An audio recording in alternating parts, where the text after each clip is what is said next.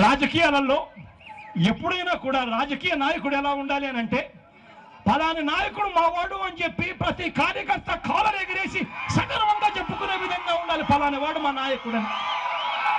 కానీ ఈ చంద్రబాబు నాయుడు గారిని చూస్తే మాత్రం ఫలాని వాడు మా నాయకుడు అని చెప్పి తల వంచుకొని సిక్కుతో నడుచుకొని పోయే పరిస్థితిని తీసుకొస్తా ఉన్నాడు చంద్రబాబు నాయుడు గారు.